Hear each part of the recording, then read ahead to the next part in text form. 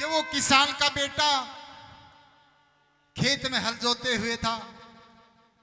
हल जोतते जोतते वहाँ पर हंस आ जाते हैं। हंसों से पूछने लगा कि भाई, तुम कहाँ जा रहे हो? बोला, हम बाबा भोलेनाथ की नगरी हरिद्वार जा रहे हैं। तो हंस कहते हैं उस भोले जाट को कि तुम भी हमारे साथ चलो।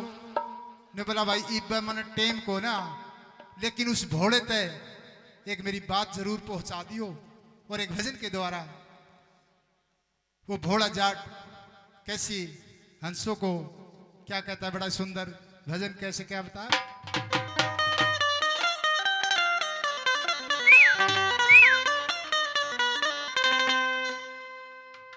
वो चार हंसा शिव भोले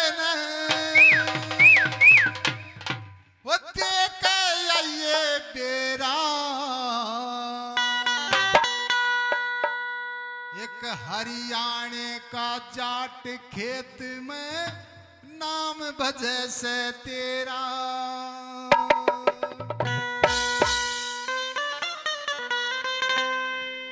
वो चार हंसा शिव